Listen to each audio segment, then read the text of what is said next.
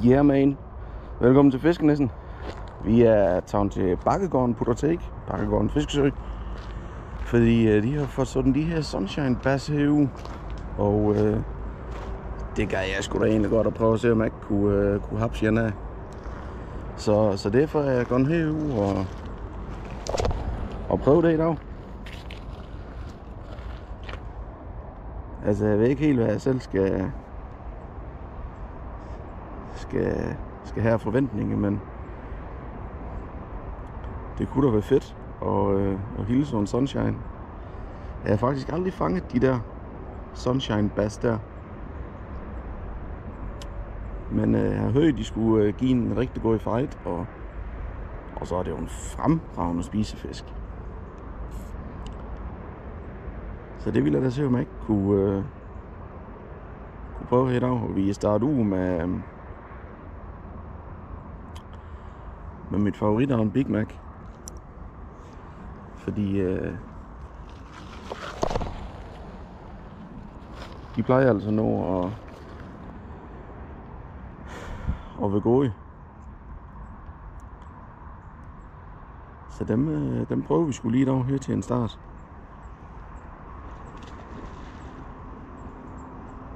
Og se om det er, om det er noget, der vil have det.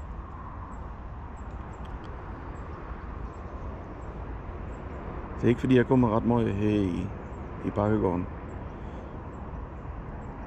Og specielt ikke nu her, hvor jeg kommer rundt til så mange forskellige søer, så, øh, så blev Bakkegården nedprioriteret lidt, selvom at det er jo rigtig godt besøgt, og det er nogle rigtig fine fiskesø.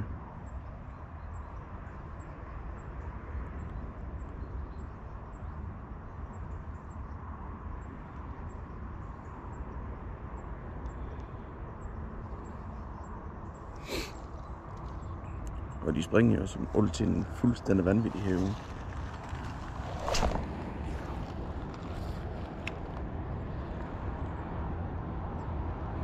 Så det skal nok blive spændende. Og jeg kan se, at vandet er jo rigtig klart her i dag, som det plejer at være. Så det er jo altid en fornøjelse at være her.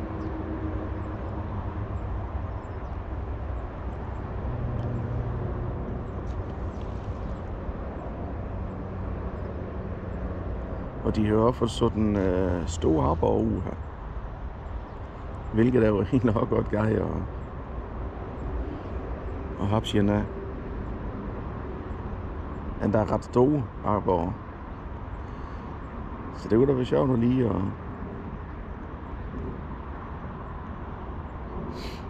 at låne en af dem. Få kigget lidt over.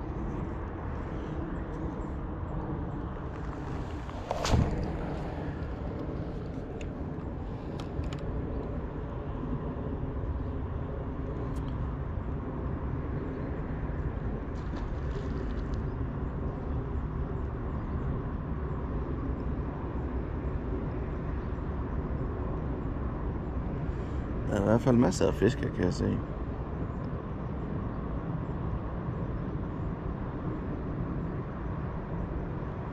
Så det er sgu bare med lige at finde, øh, finde hvad de vil have i dag. Og så er det bare at give den gas med det. Den grønne her, den er jo stadigvæk god fra, øh, fredag, der, var i, i Pensmølle fisk. Hvor, øh, hvor de simpelthen ikke kunne lade, lade den her grøn her ved. Og derfor så, øh, så fik den altså lige et skud her en halv times tid i dag. Måske et kvarter inden jeg skivede. Ja, jeg fik jo lige kastet den, øh, jeg fik lige smidt en popler på bu her. Og nu ved jeg sgu ikke, om øh, den er væk, eller hvad der er sket. Så skulle den er væk her. Der er i hvert fald fisk her.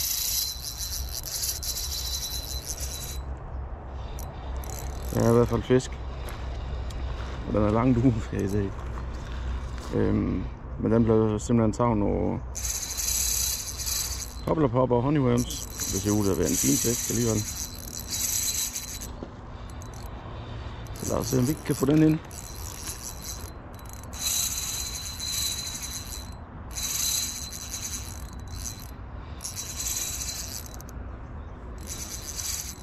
Eller langt ud der. Men det er jo godt se ud til at være en af de fine fisk, faktisk. Nu prøver lige at have lige stramt og bremsen en lille smule, for jeg ved ikke rigtig, hvor godt den har fået fat i de honeyworms. Nu prøver vi i hvert fald lige at se, om vi kan trække den ind her.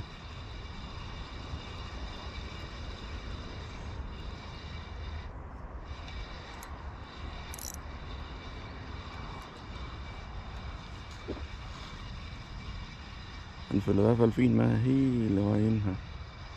Nu vil vi se.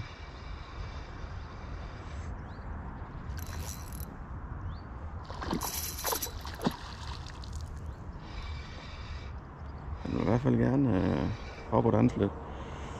Flot fisk.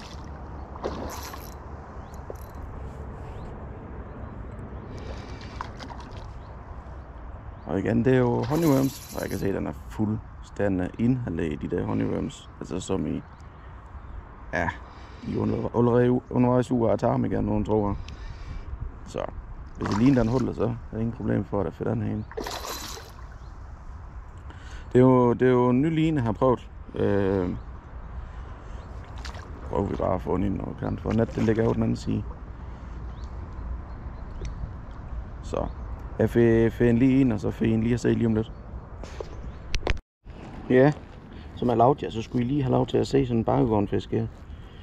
Øhm, nu kan jeg se, der ligger en, øh, en line her, og der ligger sat mig også en krog her. Jeg vil lige godt øh, rydde op af det her. Det er træls det her. Jeg lige få den her op først. Så smide nu for andre folk.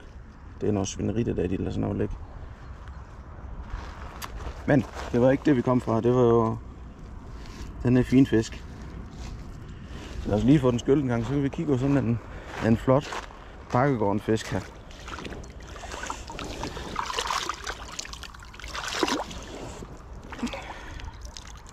Det er da en smuk fisk, ja. Det kan der næsten ikke gøs mig i kørende.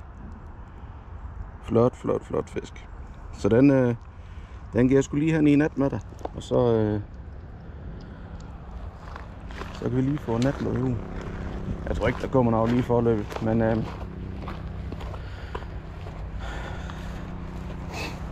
det er jo ikke fordi, at det er blevet vinter eller efterår eller noget endnu. Det er jo stadigvæk hamrende varmt. Og hvis jeg skal være her i ja, lidt over to timer nu, der vil jeg godt have den her fiske en lille smule og køl. For jeg tænker, at vandet er en lille smule mere i kål end, øh, end luft lige nu. Så. Lad os lige få en smidt i nat her. Øh,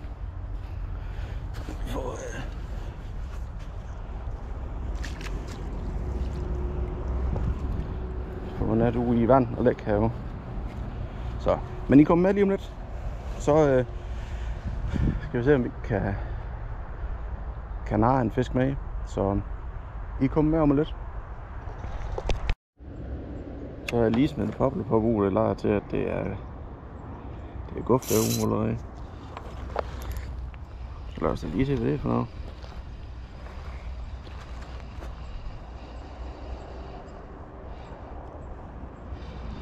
Det lader til at være sjovt noget.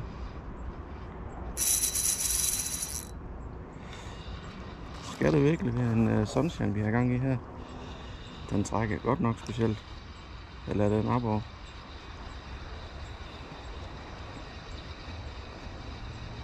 Hvad fanden det kan komme op her? Nej, det er sgu mørkt. Det er en ørt.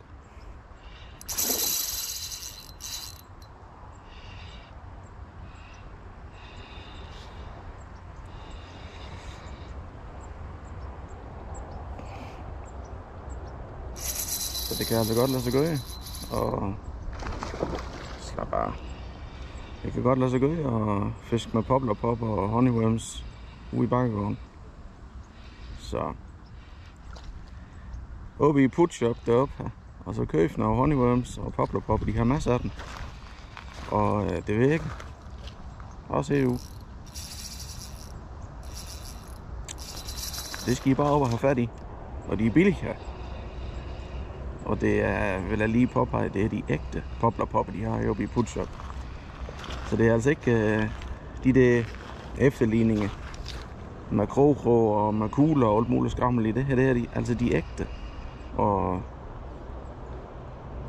hvis jeg skal sige, at de eneste rigtige, de eneste rigtige poplar pop.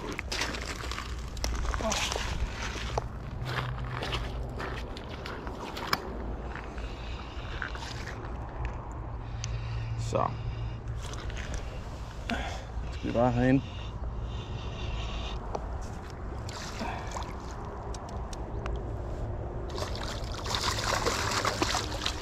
Ej, du laver jo helt over din tosse.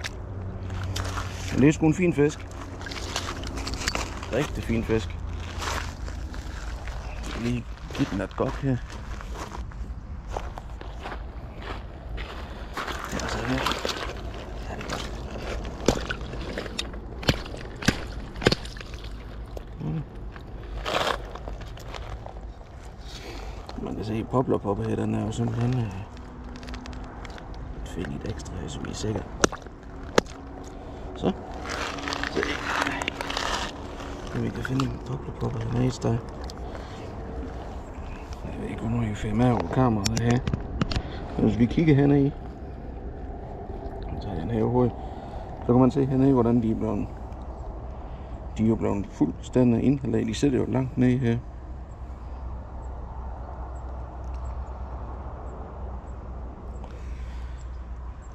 Og det er jo bare et tegn nu, at øh, det vil de skulle godt have. Ellers så vil de ikke tage det og, og den måde, som de kan gøre her. Så det er altså effektivt nok. Og det er blevet taget to fisk. 8 tog. Så det er altså... Det er mere end godkendt, vil jeg sige. Det er mere end godkendt. Og det er jo bare... Og så er den jo honeyworms. Og så en poplarpoppe her. Ægte poplarpoppe. Det er skønt med at sige. Men øh, smukt. Altid godt at lige at, at have sådan en fisk med i. Hold da kæft, så har vi, øh, så har vi sgu besøgt det to frække fyre på skrænten. Ja. Men sådan er det, når folk kan se, at man fanger fisk, så kommer folk til.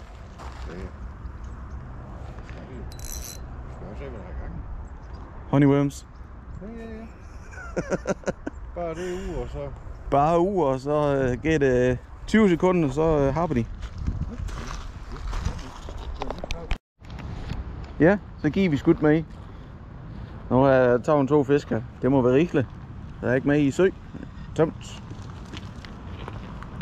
Ja, måske der er lige en enkelt eller to. Men øh, jeg fik ikke de sunshine, jeg godt ville have fat i. Til gengæld fik jeg to fine arter. Så det er okay. Og det er jo sådan, når man er her i Bakkegården, så snart man står og fanger fisk, så kommer der alle mulige andre folk til. Og lige nu der er ham Charlie, det, han er i gang. Han kunne ikke lade være, når han ser, jeg står og brillerer her, øh, så kommer han.